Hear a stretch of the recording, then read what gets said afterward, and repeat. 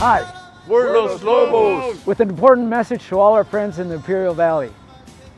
Get your vaccines. The pandemic is not over. Then don't forget to wash your hands, keep your distance, and, wear, your mask.